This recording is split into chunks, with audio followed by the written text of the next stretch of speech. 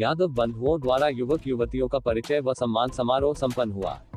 वाराणसी के मुकीमगंज स्थित शंकर बड़ा में गोवर्धन पूजा समिति ट्रस्ट के पदाधिकारियों द्वारा कई जिलों से यादव बंधु परिवार परिचय व सम्मान समारोह में हुए शामिल, जिसमें सैकड़ों की संख्या में उपस्थित हुए 50 महिलाओं और पुरुषों समाज सेवी का सम्मान किया गया, जिसमें छात्रवृत्ति 50 बच्चों को छात्रवृत्ति दिया गया हुआ 500 शादी का बायोडेटा लिया गया, जिसमें 30 शादी का रजिस्ट्रेशन भी करवाया गया। पदाधिकारियों ने बताया, गरीब परिवारों का लड़के और लड़कियों का शादी कराना उद्देश्य संयोजक दिनेश यादव, पप्पू परिचय सम्मेलन का अध्यक्षता गोपाल जी यादव ने किया। मुख्य रूप से विनोद यादव, कैलाश यादव, राजेश अहीर तथा कार्यक्रम का संचालक राजेश यादव ने किया।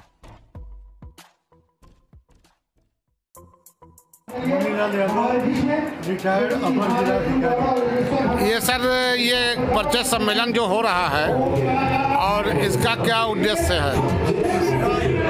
मुख्य रूप से ये है। कि